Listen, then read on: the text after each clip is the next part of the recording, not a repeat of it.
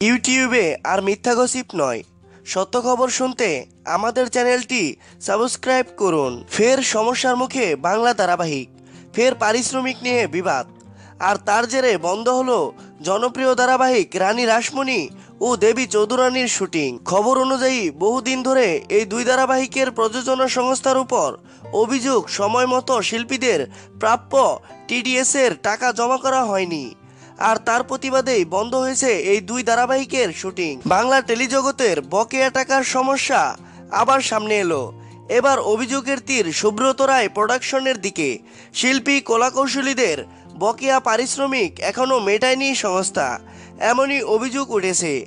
টেলিপাড়ার একাধিক বিশ্বস্ত সূত্রের বক্তব্য, পারিশ্রমিকের টাকার পাশাপাশি শিল্পী ও কলাকৌশলীদের টিডিএস এর টাকাও বাকি রেখেছে এই সংস্থা। তেইশে আগস্ট মূলত বকেয়া টিডিএস এর জন্যই করুণাময়ী রানী রাসমণি ও দেবী চৌধুরানী সহ একাধিক ধারাবাহিকের শুটিং ব্যাহত হয়। সুব্রত রায় প্রোডাকশনের বিরুদ্ধে পারিশ্রমিক বকেয়া রাখার অভিযোগ বহুদিন ধরেই শোনা যায়।